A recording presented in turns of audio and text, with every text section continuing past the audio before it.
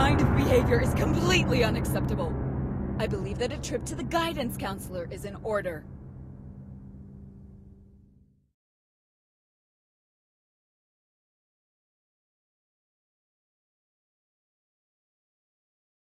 I'm not surprised to see you again. You've become a troublesome student. Deranged. Insane. Psychotic. These are the words that others have used to describe your behavior. People don't feel safe with you around. I'm deeply concerned.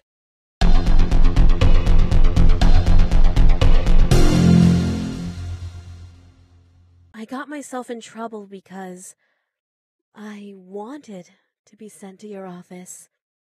To be honest, I can't stop thinking about you. I think the two of us could make sweet music together. E excuse me?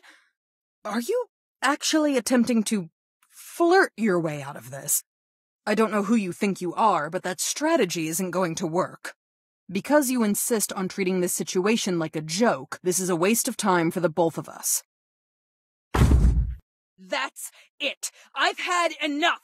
I've spoken to the headmaster about you, and he's given me permission to expel you from Akademi at my discretion. Under his authority, you are hereby expelled from this institution. Get out of my sight!